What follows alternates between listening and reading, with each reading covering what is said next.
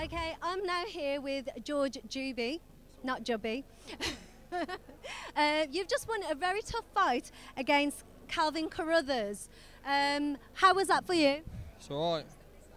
Yeah, it's alright. It's hard because I haven't trained for about a month. But it's alright, yeah. So you've done no training in, ahead of this fight? No, I've done a bit of sparring last week, that's it. Okay. Um, he's a lot shorter than you, but he was quite aggressive, wasn't he?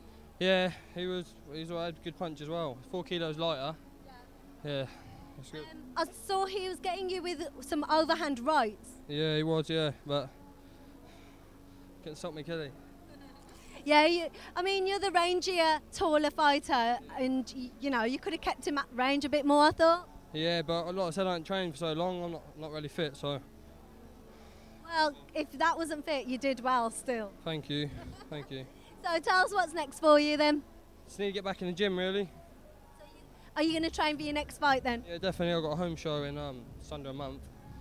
Need to get back in the gym, yeah. But, Uh, do you want to give a shout out to anyone out there?